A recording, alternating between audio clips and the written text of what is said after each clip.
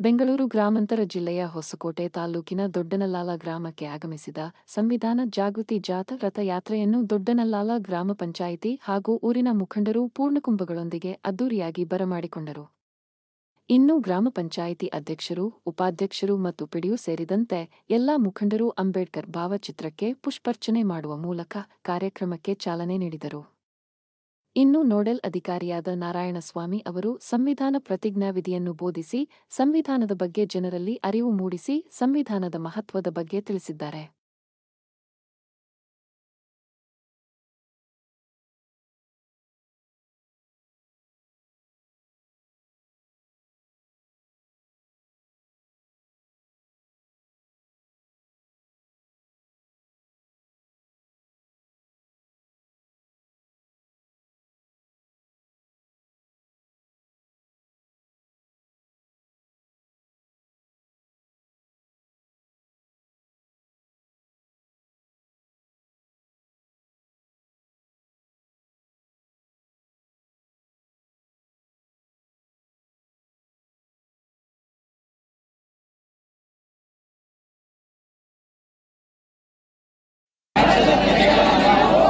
ಭಾರತವನ್ನು ಸಾರ್ವಭೌಮ ಸಮಾಜವಾದಿ ಜಾತ್ಯತೀತ ಪ್ರ- ಪ್ರಜಾಸತ್ತಾತ್ಮಕ ಗಣರಾಜ್ಯವನ್ನಾಗಿ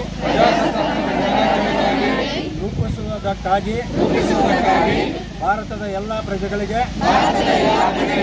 ಸಾಮಾಜಿಕ, ಆರ್ಥಿಕ ಮತ್ತು ರಾಜಕೀಯ ನ್ಯಾಯವನ್ನು